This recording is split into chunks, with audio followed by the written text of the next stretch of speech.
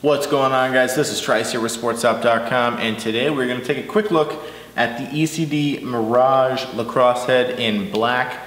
Um, let's get a close look at this one. I really just want to show you guys the textures on it. If you want a more in-depth detailed breakdown of the Mirage head itself, go ahead and check out the white video. I will give you a link to that at the end of the video, but let's go ahead and check out the details on this guy. All right guys, so right here I have the ECD Mirage lacrosse head in black. Uh, I did go ahead, I wanted to leave this one on the headstand for you so you can get an idea as to how it comes from ECD. Uh, like I said in the white video, it comes attached with the smaller screw here. Um, really, if you want more of an in-depth view on what the head has to offer uh, technology-wise or stringability or anything like that, go ahead and check out the white video.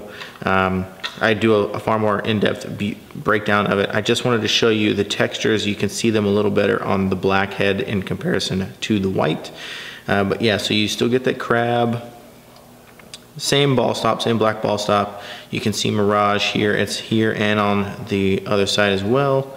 And then again, like I mentioned in the white video, plenty of gloss accents. They get lost under my lights with the white, but you can see them a lot better on the black, of course, right there.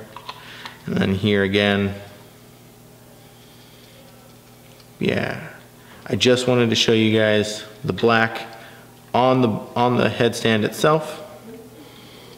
And then that fancy screw Right there, nice textures here in the throat as well. All right guys, so that's your quick overview, if you will, of the black ECD Mirage lacrosse head. Like I said, I just wanted to show you guys the textures. Uh, pretty snazzy on ECD's part for including the headstand it makes my job a little easier. But guys, I hope you enjoyed the quick look at the Blackhead. If you did, go ahead and click the like button or even better, click the subscribe button. I have a link that's gonna take you straight to sportstop.com or you have a choice of these two videos on this side. Like I said, that white breakdown, which is a little bit more of an in-depth breakdown of the head itself, or down below that one is the ECD Mirage Complete Stick where they've attached it to a focus handle. So full ECD from top to bottom. But guys, either way, check out one of those two videos. And as always, thanks for watching and have a great day.